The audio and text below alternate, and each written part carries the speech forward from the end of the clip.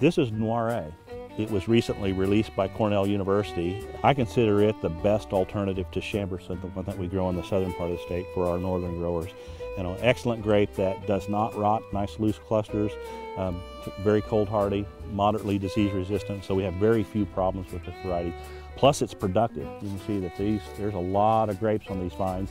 Since we've only recently started using in winemaking, uh, one of the things that we noticed with it in the, in the experimental winemaking that it's got more tannins than many of the other hybrids and not very much of the, of the hybrid character that a lot of the older hybrids were known for, a little bit of a metallic herbaceous kind of character. This variety doesn't have that uh, problem, plus with the added tannins and kind of a pepper uh, flavor, and this is a great blender with some of the others.